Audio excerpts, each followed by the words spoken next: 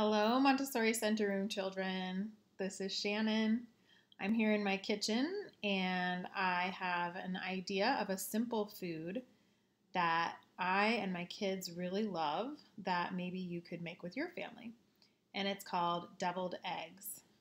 So it's hard boiled eggs with a um, little bit of things added, a few ingredients added to the yolks of the egg, and then they get smashed and squeezed in like a filling to the middle of the white. So I'm going to show you how to do that. Um, for parents, I post my um, recipes in an easy to see fashion. This one is from the Food Network, Classic Deviled Eggs. And let's see here, I already have laid out all of the ingredients. So we have distilled vinegar measured out, salt, measured out, yellow mustard, and mayonnaise. And then that will be combined into this bowl and then placed in a baggie for um, the filling for later. And girls and boys, you're going to have to ask for help from your parents for part of this. Um, boiling the eggs, again, um, just like popcorn, involves a hot stove. So your parents or whoever's caring for you can help you by boiling the eggs for you. And then making sure that they are no longer hot when you start working with them. So right now, I have my eggs that were in the pot, but I put a lot of ice and I dumped out all the hot water. I put in cold water and then I put in ice as well. So that way I know that the inside even of those eggs are safe for children to touch. Okay, so they're no longer hot. And now I'm going to show you, I have one bowl here with water and one bowl with nothing in it. And then I just remembered I also need a simple butter knife for cutting.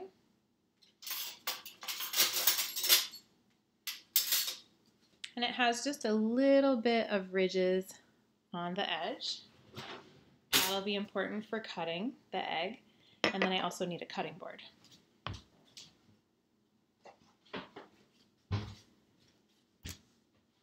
Okay, so I'm to start by what I love the most, which is cracking the eggs. So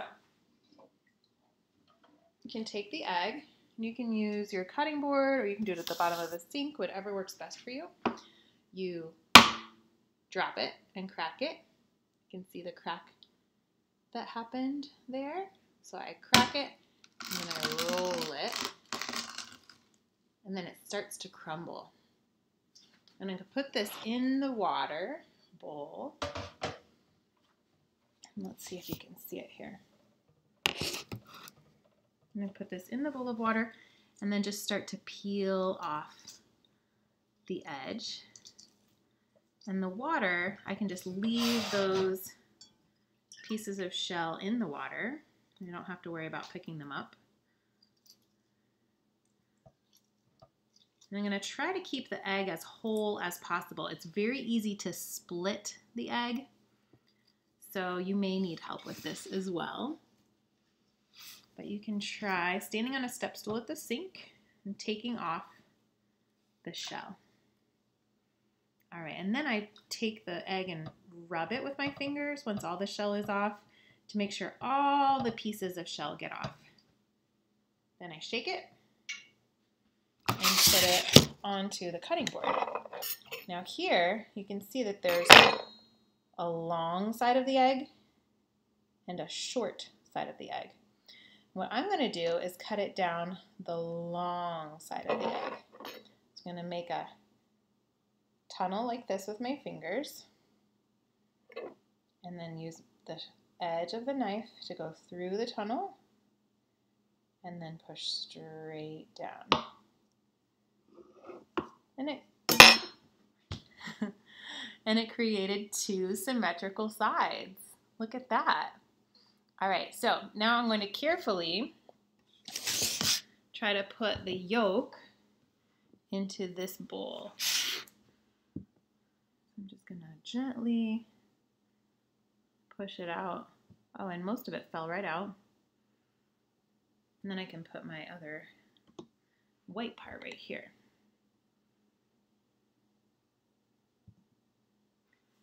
And I have to say, I was really lucky that those yolks came out so easily.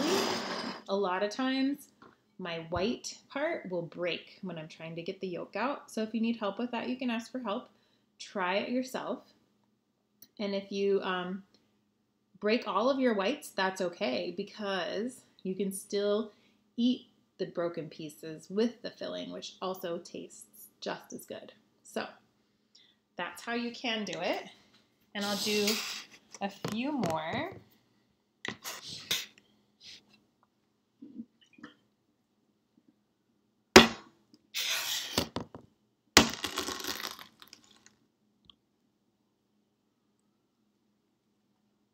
of cracking and then peeling the egg into the water.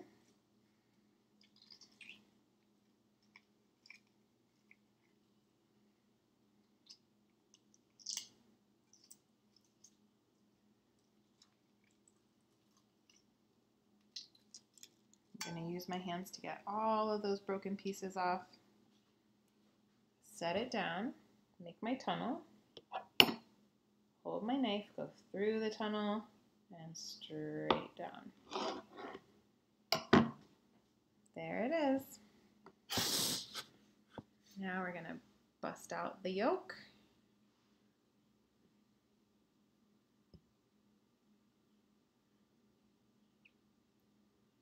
And sometimes it gets all over your fingers, that's okay.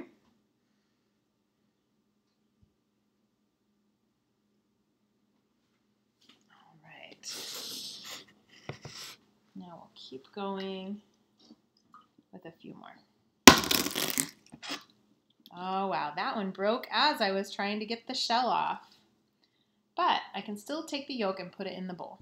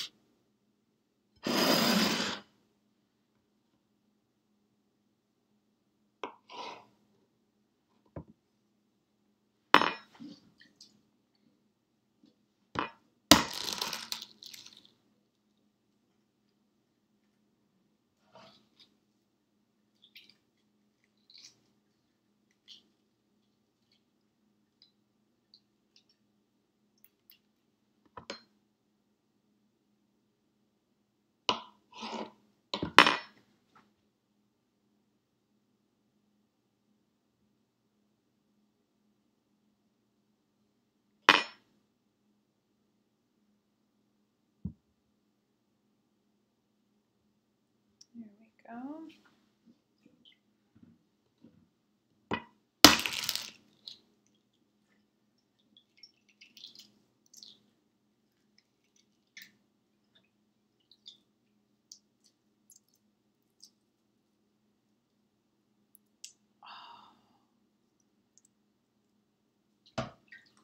That one cracked in the middle too.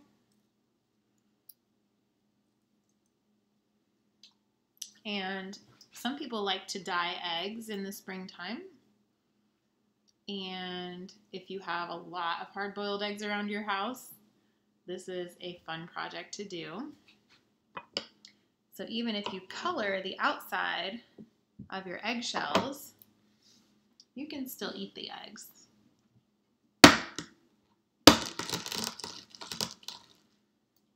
And when you color the outside shell, sometimes those colors come into the white also. So you can decide if you want to eat an egg that looks blue or pink or green. If you're comfortable with that, you can.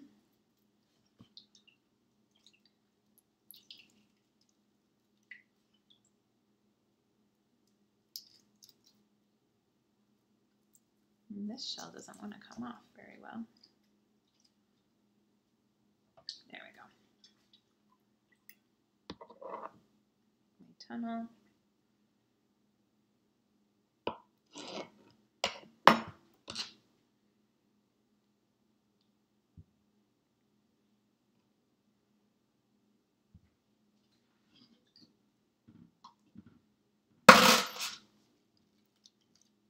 Oh, that one split down the middle too.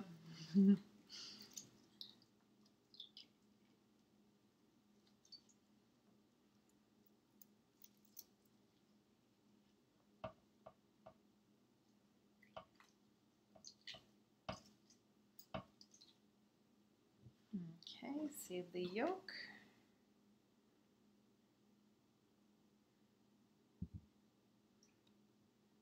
And the whites.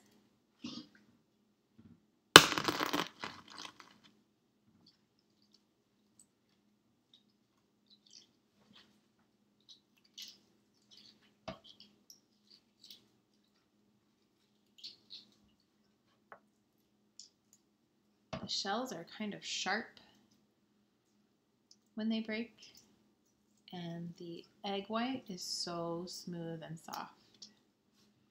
And I would love to hear how you would describe it while you're making deviled eggs.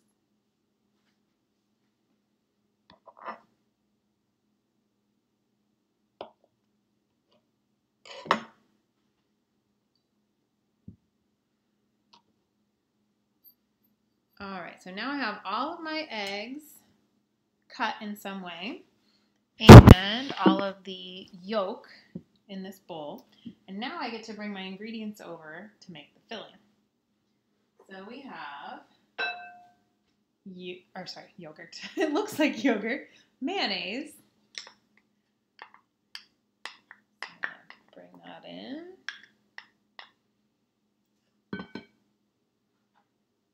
A little bit of mustard.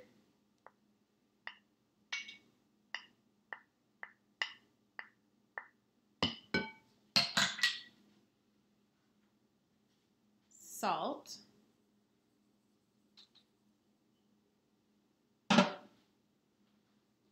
And a little bit of vinegar.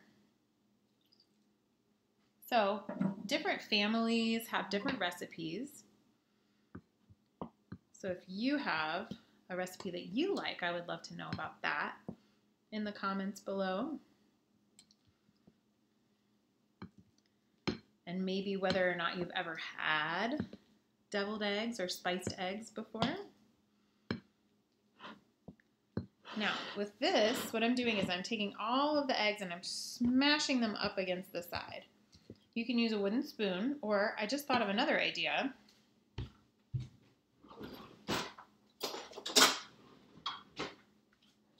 Could use a potato masher.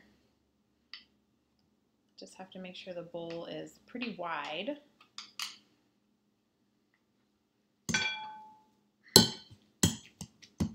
Oh yeah, this is nice. It's getting all of the ingredients mixed up and it's really fun.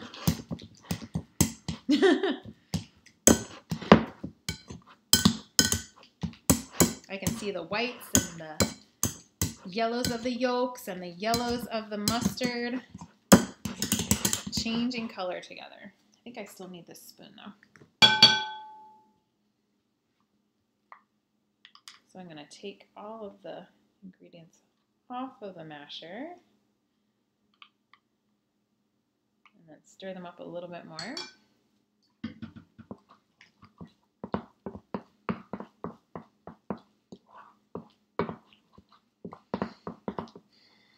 And then once you think it's done, even if it's not totally smooth, that's okay. You can put it into a plastic baggie.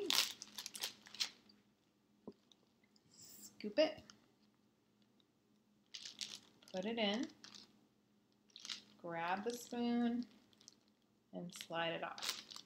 And keep doing that until you get all of your filling into the baggie.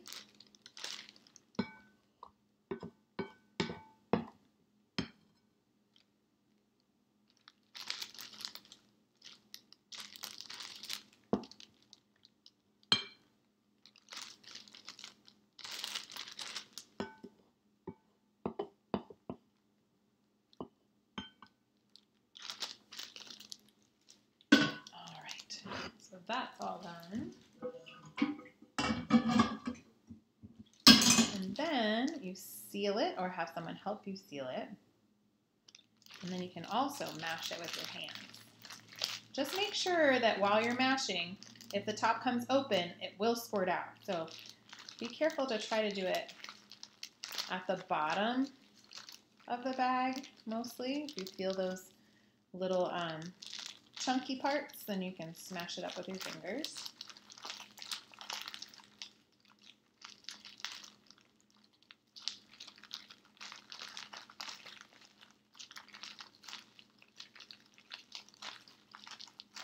And then this is my favorite part, which is squirting the filling into the little holes of the eggs.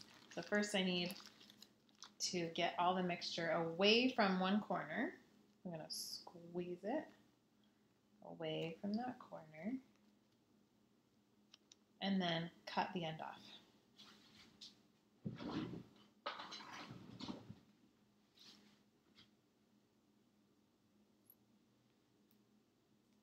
There we go. Put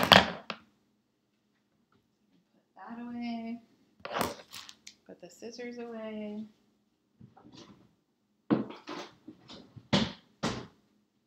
And then I'm ready for squeezing.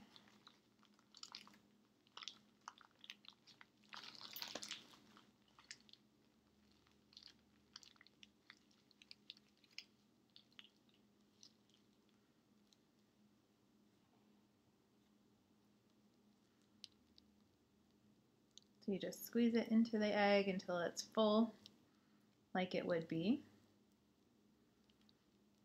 with a regular yolk.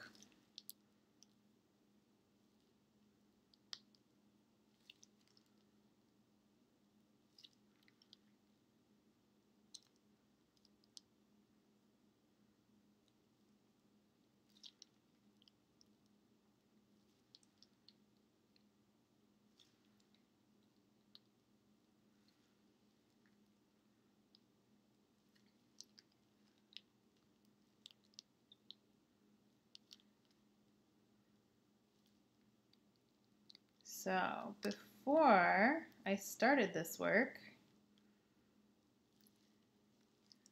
I had washed my hands. Very important. But even though I washed my hands before I started cooking, I still need to wash them again before I start eating. So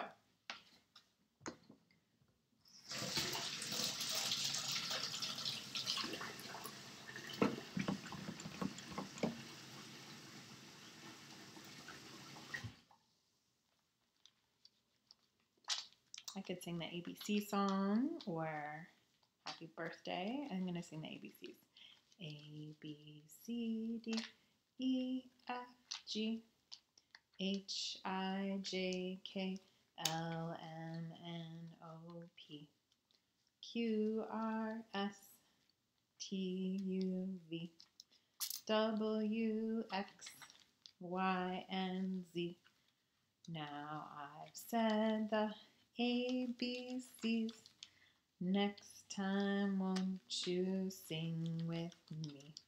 Sounds like a long time to wash your hands, but this is the only way we're going to get all of the germs off.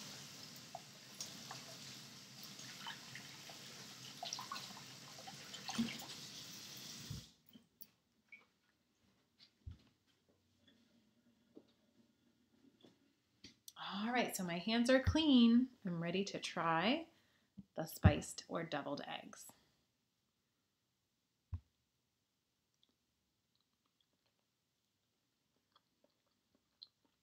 Mmm, it's delicious. I hope you get to try this at home. And if you do, please either take a picture of it or maybe something else that you've made or helped to make in your own kitchen at home. All right, thank you all. Bye.